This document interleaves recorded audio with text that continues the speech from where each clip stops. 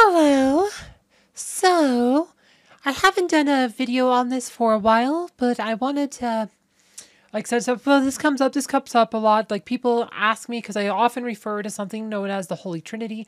I've done a lot of videos on this a couple times, but uh, the last time I've done a video specifically on this was actually last year. It's been almost a year since then.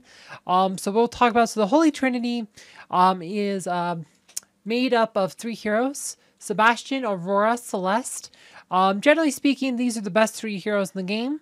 Sebastian's the best, followed by Celeste, followed by Aurora. Like I said, those three heroes, like generally speaking, I recommend everybody have those heroes. Like these are, like if you're trying to win at a high level, there's few heroes in the game who will help you get more wins in like guild wars and stuff uh, than these three heroes. The fourth best hero is uh, Isaac. A lot of times you'll call this Quadrinity. Like with him, like they call these Quadrinity lines um because you have the holy trinity plus isaac like uh, he's the fourth best hero in the game. So like in these these four heroes you will see them a lot in guild wars. They are very common on both attack and defense and a lot of times you'll see them in arena stuff. Like these four heroes pretty much define the entire metagame. And if you're just working on developing hero stuff like you know having these heroes uh, is a very good start. But let's go back to like uh, why Aurora is good. Like, Aurora uh, herself is one of the best DPSs in the game, but she's a tank. This is kind of leads to her being broken, right? You take a tank like Astaroth, he has no DPS, potentially he does not do AE damage, so we can't counter Martha's Teapot. Um, like I said, he doesn't at high end. His his mitigation just isn't very sufficient. He takes damage pretty badly at the high end. I mean, he's okay on the armor wise, but Aurora can dodge, which is just generally better. Um, because no matter how much armor penetration you have, um, Aurora is always going to dodge a portion of that. Like, even if you have enough armor penetration to do max damage to any tank in the game, Aurora is always going to be mitigating a, a good portion of the physical damage because she's dodging. Same thing with magic. She has an ability called Rainbow Halo. Um, that gives her um, potentially the best magic mitigation in the game. This allows her to absorb uh, 85% of incoming magic damage. Um, really, the only other hero who can absorb magic damage at a similar rate is Isaac um, with his um, capacitor here. Like, he absorbs 66% of magic damage. Um, but he actually has magic defense. Unlike Aurora, you can actually get him some magic defense. So you like said, especially Mara Page, so his magic defense is actually good. Aurora has essentially has no magic defense because generally she doesn't really need his Rainbow Halo.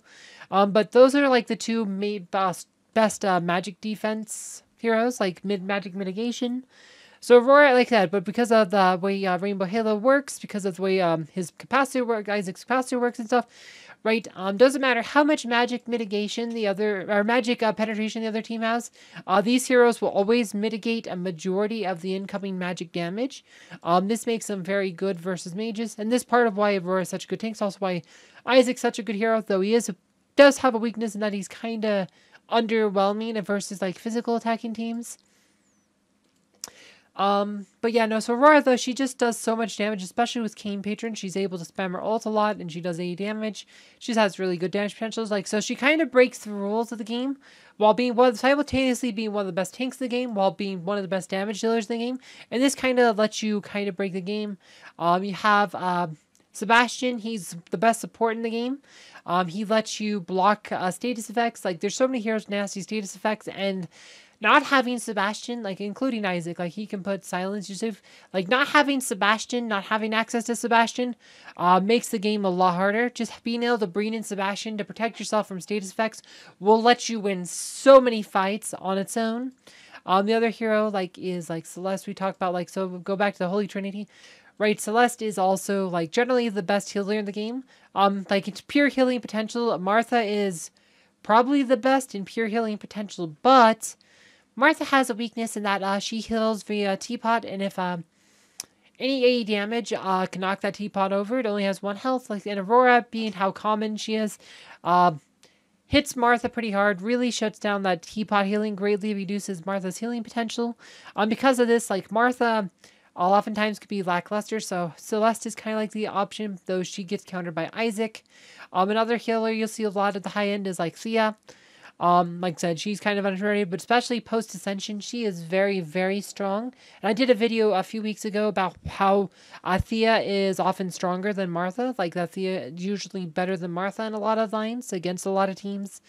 Um, so Thea's uh, another option. This is kind of why, but um, you have Celeste used so much though is that unlike uh, Thea, Celeste has an ability called Cursed Flame, which blocks healing on the enemy team, and this is not a status effect like in her dark form she puts cursed this is not a status effect it's a field effect so it can't be blocked by sebastian or anything.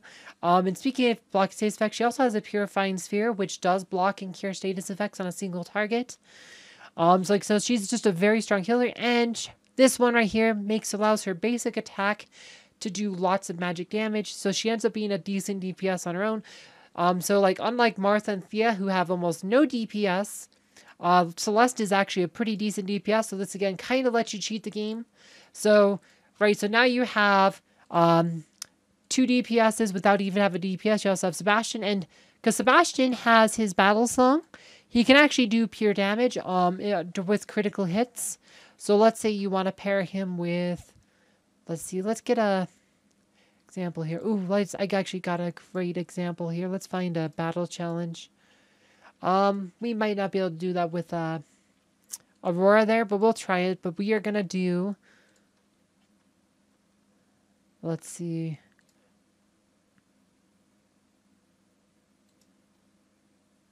Let's find a good DPS here.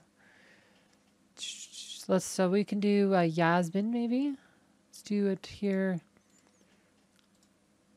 Because there's no Celeste here on this line, so let's Boom, boom.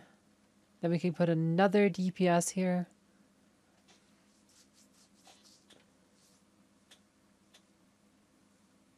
Mm.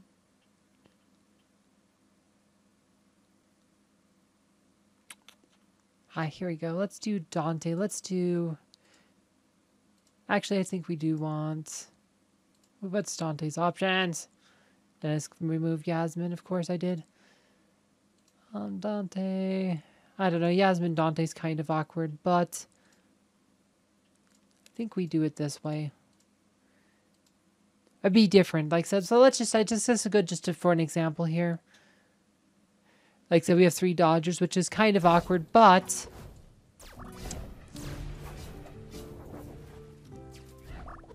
Okay, there we go. This will actually work against this line.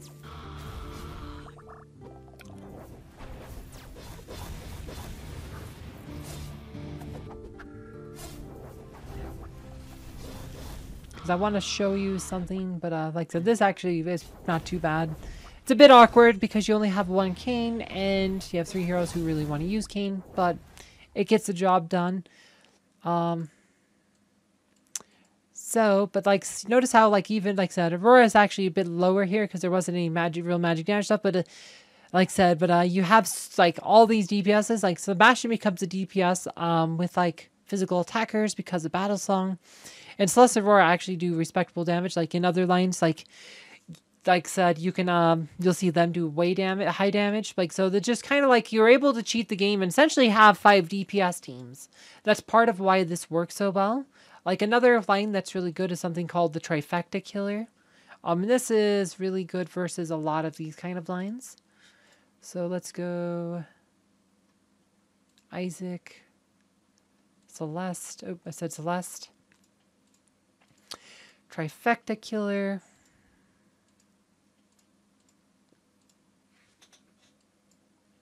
We'll see if this does works.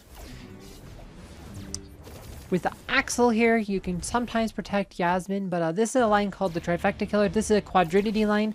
It's generally one of the best uh, Quadrinity lines, one of the best ways to use Yasmine. I did a video about this a couple times.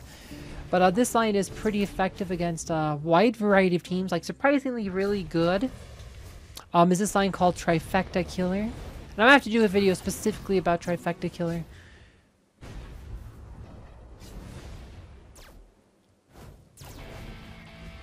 But Yasmine died, and that's, like I said, that's the downside. Like, Celeste is really good versus Yasmine, so is Aurora.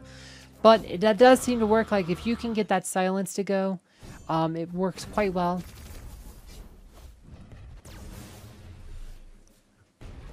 There you go. Boom, that's a win there with the trifecta killer. right? So Isaac becomes a DPS. Like then you have Aurora actually do a lot of damage.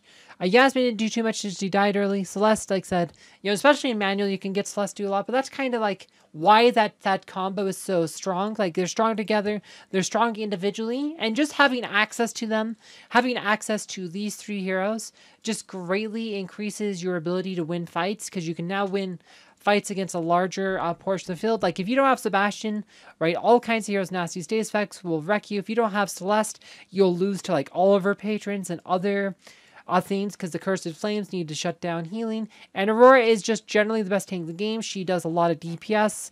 Um, she can shut down Martha. She's one of the best counters to Martha. Um, and she's just like, you know, the complete package. Uh, has high health, great mitigation stats. And, you know, like I said, it's just, yo, she's just really strong. Um, anyway, I hope you guys found this video fun and informative. Um, Thank you for watching, and if you liked this video, please consider subscribing or donating to my and uh, check out my other content. Thank you very much.